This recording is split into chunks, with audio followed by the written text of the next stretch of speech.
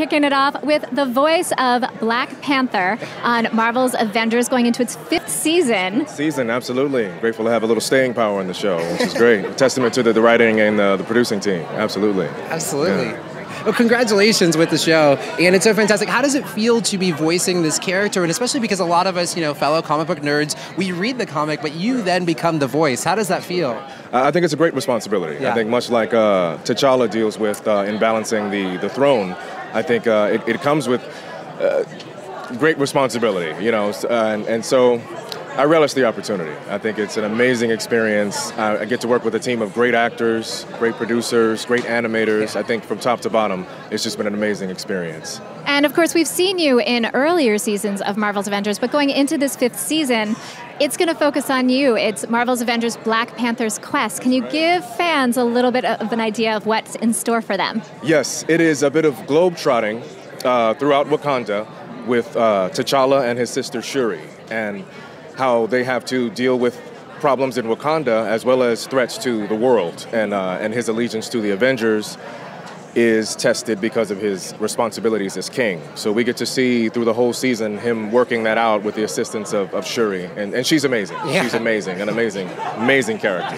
Absolutely. How fantastic to be able to elevate it to that level. Um, and, and, so when you're working on this show, uh, how did you get into voiceover acting? Uh, playing tricks on my family. Really? Yeah, absolutely. and uh, and going through drive-throughs and, and, having fun at drive-throughs and, and, trying to you know order in different voices and, and I have big uncles and so yeah. I, I, tried very early on to, to find the bottom in my voice. Oh. Very very early on and uh, and it's just been fun. You know, just making fun of people and and I'm an actor first as well. You know, I, I've done Shakespeare.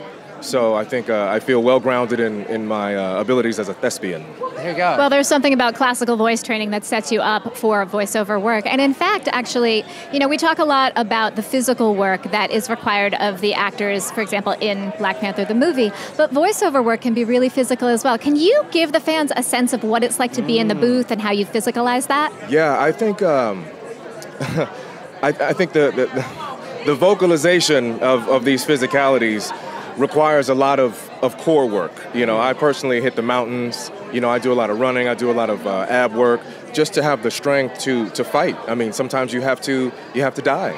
You know, in, in, in some cases, or at least uh, receive e- extreme damage to you physically, yeah. in which and it's got to sound like something. Yeah. You know, and uh, and to do that over the course of four hours, which is the length of our recording session, it does require some stamina, some yeah. some vocal stamina, certainly. Now, were you a fan of the Black Panther when you were a kid?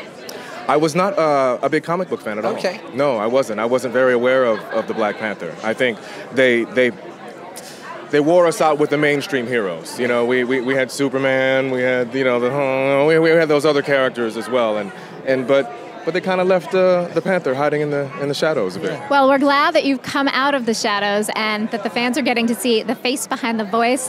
Have a great time here tonight at the premiere and enjoy all the love for Black Thank Panther. You. Thank you, Tamara. James. Thanks, James. Thank you for having me. Absolutely. Have a good time tonight. Thank you. Marvel fans, stay tuned. This is just the beginning.